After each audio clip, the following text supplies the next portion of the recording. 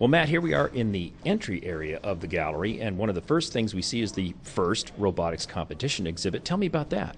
This is um, a competition that's international. It's actually been pretty exciting for me to work with as it's based in high school students from around the world. And FIRST actually stands for the Inspiration and Recognition of Science and Technology. And one of the things that we see happening is that uh, students going into hard sciences, technology, um, engineering has a steady decline over the past several um, years, probably the past decade. And, and so we've been contributing software and resources to this not for profit uh, organization. And uh, um, what you see here is one of the robots that was built by high school down in Palo Alto, Gunn High School. This was not the winning entry, but it's actually a pretty exciting um, piece of engineering here. And so they're given a, a challenge, if you will. Uh, this case was to stack boxes. I think it was called Stack Attack, and um, uh, stack boxes as high as they can in a period of time. And um, we've got some pretty cool videos and, and, several other examples of the 3D models that the schools uh, from around the world have built using um,